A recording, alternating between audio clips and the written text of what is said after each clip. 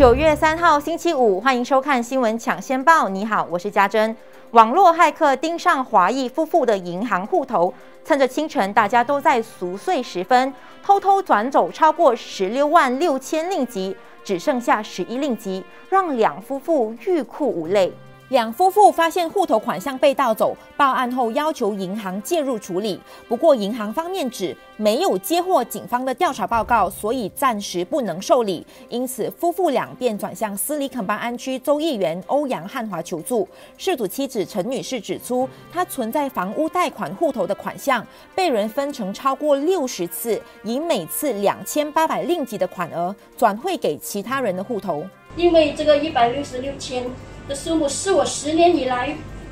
不多了的分期付款的数目，只有银行的人才知道的，而且我没有透露过我的银行资料给还有密码给任何人。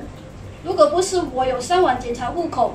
恐怕也不会发现。陈女士指出，警方至今没有透露调查进展，只表示骇客是利用外国的 IP 位置盗走款项，而银行方面则拒绝提供该位置。事主夫妇认为，银行理应有职员监督汇款举动。他们的银行户头暗中被人多次转账，但却从来没有接获通知，因此怀疑有内鬼牵涉其中。欧阳汉华指出，如果这起事件证实是银行方面的疏忽，应该负起责任，而不能推卸给受害者，并表示会向警方跟进，要求尽快提供调查报告，让夫妇处理追讨款项事宜。交通部长拿杜斯里魏家祥宣布暂缓更新驾驶执照和入税措施的期限，再度延长至今年十二月三十一号。配合这项决定，陆路交通局和警方将不会针对已经逾期的入税和驾照采取执法行动。魏家祥今天召开记者会时指出，入税逾期的民众必须确保车辆拥有生效的车险保障，而且必须出示车险保单副本以做检查用途。MOT telah memutuskan untuk memberi pelanjutan terhadap tempoh pembaruan lesen kenderaan motor LKM dan lesen memandu Malaysia LMM sehingga 31 Disember 2021. 魏家祥也宣布，从九月六号开始，全国陆路交通局和策略伙伴电脑验车中心将全面开放柜台服务给直接登门的公众，确保公众能在所允许的时间内顺利处理更新路税和驾照的事宜。另外，魏家祥也透露，驾照和路税因为水灾损坏，也可以免费补换。换个焦点。来自吉隆坡的张世雄通过面子书分享一批已故祖父和祖母于一九四一年在龙雪中华大会堂的结婚照片，一张张的照片都充斥着当年的喜悦，十分珍贵。张世雄说，在当年龙雪中华大会堂可能是吉隆坡最盛大的社交会堂，当时的午宴方座可以坐上八个人，有婚礼摄影师、珠宝和结婚车。适逢今年是他们的八十周年结婚纪念日。因此，通过分享照片缅怀两位至亲。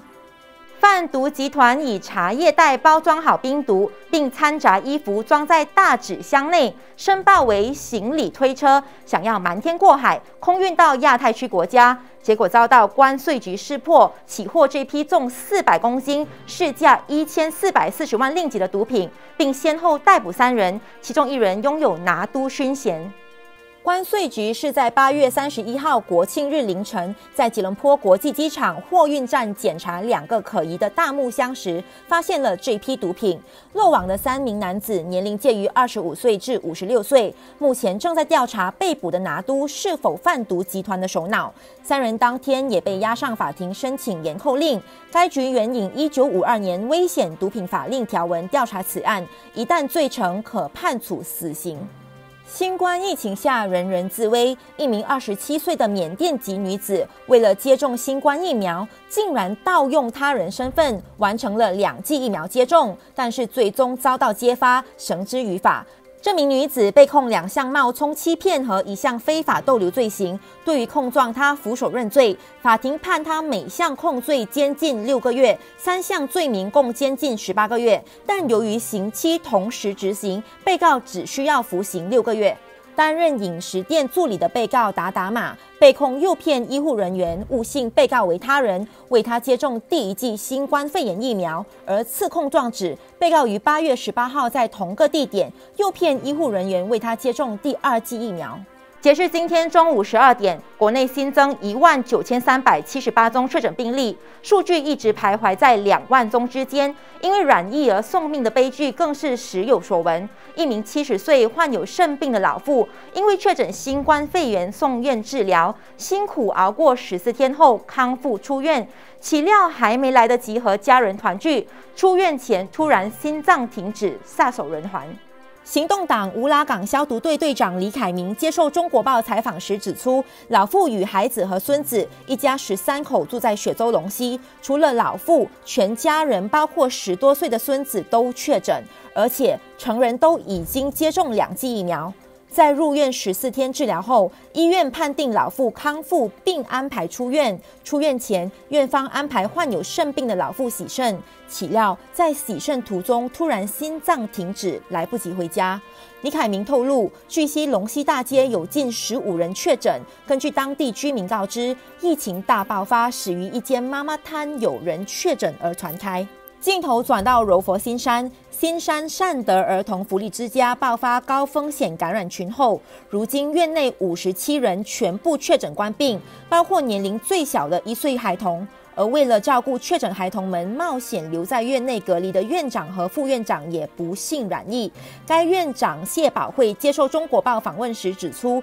有四名社工的官病症状较为严重，包括他也会出现缺氧的情况。而原本有两名病况较严重的社工准备入院治疗，但最后卫生部人员还是建议他们留在院内隔离，继续观察情况。目前全国累积病例为一百八十万五千三百八十二宗。尽管雪兰莪州病例还是全国居冠，但新增病例已经初见下滑趋势。今天通报三千六百一十三宗确诊病例，反倒是其他州属的通报病例不减反增，越来越贴近雪州的通报数字。其中沙拉越通报两千四百六十四宗确诊病例，是今天位居第二高确诊的州属。另外，今天再有三百三十人因为新冠肺炎逝世，目前累计死亡病例为一万七千五百二十一宗，有九百七十五人在加护病房，四百六十三人需要呼吸辅助器。有人踩高跷，有人扮成金庸小说里的古装人物前往接种疫苗，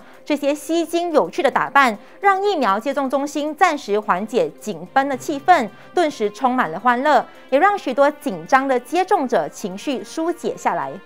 继来自新山弘扬体育会的三大民族大头娃娃、财神娃娃和龟丞相后，该体育会的踩高跷教练何家豪身穿中华新郎服饰，踩着高跷并手持国旗，现身新山市古来大学城民众会堂的疫苗接种中心，让工作人员十分兴奋，纷纷上前合影。新山弘扬体育会教练姚汉良接受中国报访问时指出，严格而言，接种疫苗中心都有服装规定，因此他们都是在获得门口保安允许后，才会穿这样的服装进入疫苗中心接种。另一边厢，来自柔佛居銮的谢思颖。则以金庸小说《神雕侠侣》小龙女的一身白色古装，手持宝剑，走进位于居銮内陆税收局礼堂的疫苗接种中心。他一到场便得到工作人员的欢呼，大家都争着和他合照留念。谢思颖接受中国报访问时指出，他是在朋友的推荐下穿上古装扮成小龙女，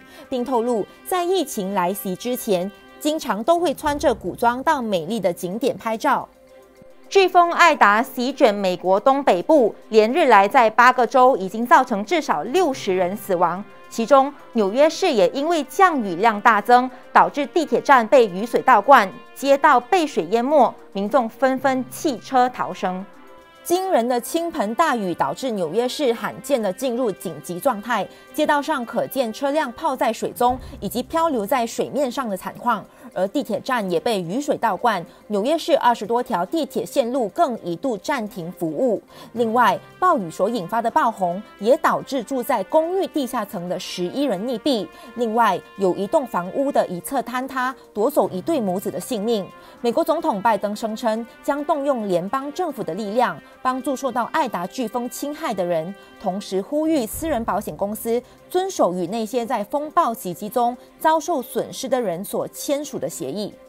日本政坛传来震惊消息，日本首相菅义伟星期五出席自由民主党高层会议时，突然宣布不参加党总裁选举，这意味着他将放弃首相职位。他在会议上表示，要专心于防止新冠肺炎疫情扩散的工作，所以不应该出马参加本月的总裁选举。阿富汗方面，塔利班发言人穆贾希德发话，希望中国协助重建经济，并声称对中国的一带一路项目很感兴趣，还说中国是阿富汗走向全球市场的通行证。另一名发言人沙欣也说，中国将保留在喀布尔的大使馆，并进一步加强与塔利班的关系。另一边厢，联合国宣布将恢复在阿富汗的人道主义空运服务，让一百六十个援助组织能继续在阿富汗各省进行援助活动。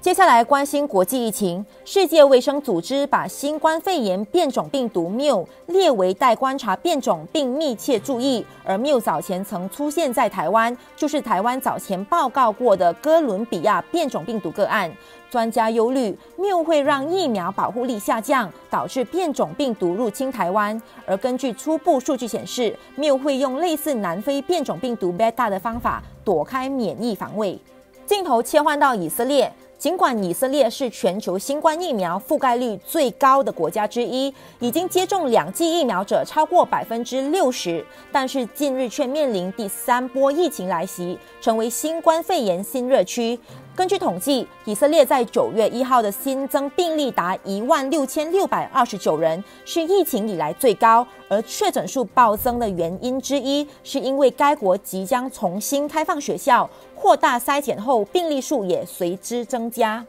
关于是否接种第三剂新冠疫苗，欧洲药管局表示，对于那些已经接种新冠疫苗人群，接种第三剂疫苗不是迫切需求。数据表明，截至目前，欧盟与欧洲经济区十八岁以上的成年人中，大约有三分之一还没有完全接种疫苗。在这种情况下，当前的优先事项应该是为所有还没完成疫苗接种的人接种疫苗。